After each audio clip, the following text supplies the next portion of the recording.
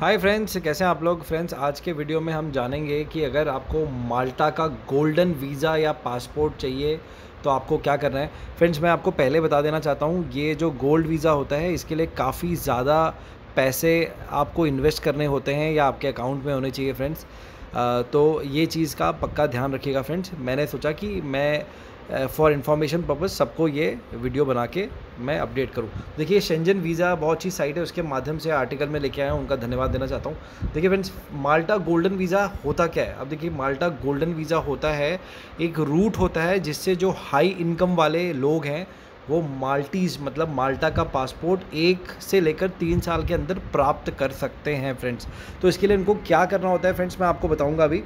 देखिए, माल्टा का पासपोर्ट अगर आपको एक साल में चाहिए किसी को, एक साल में चाहिए तो उनको, ये देखिए, इतने पैसे उनको नेशनल जो उनका डेवलपमेंट फंड है माल्टा का, उसमें डालना पड़ेगा। ये देखिए, सात लाख पचास हज़ार यूरो, सात लाख पचास हज़ार यूरो डालना पड़ेगा, यूरोप की करेंसी यूरो है तो वो आपको अगर आप डालेंगे तो एक साल के अंदर अंदर आपको पासपोर्ट मिल जाएगा।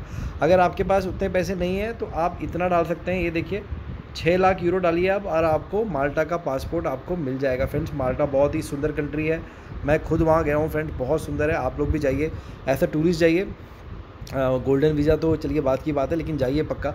अब देखिए फ्रेंड्स, यहाँ पे एक और दिखा है कि उन्होंने कि अगर आपकी फैमिली को अगर रहना है वहाँ पे तो डायरेक्ट इन्वेस्टमेंट करके आपको पासपोर्ट मिल सकता है। अब देखिए इन्वेस्टमेंट ऑप्शन कौन कौन से फ्रेंड्स आप देख सकते हैं। माल्टा सिटीजनशिप बाई इन्वेस्टमेंट मतलब आप, आपको वहाँ की नागरिकता अगर चाहिए तो आप वहाँ पे क्या कर सकते हैं? ये देखिए प्रोग्राम का नाम लिखा है।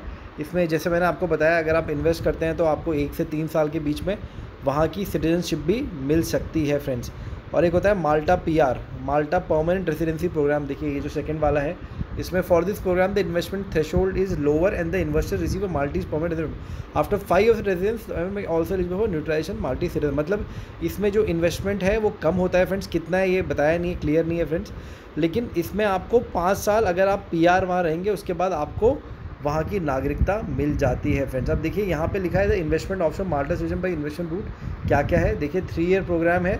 अब मैंने आपको बता दिया कि छः लाख है इसमें। एडिशनल फैमिली मेंबर्स के लिए आपको पचास हज़ार और देना पड़ेगा। ठीक है फ्रेंड्स वन ईयर प्रोग्राम जो है, उसमें सात लाख पचास।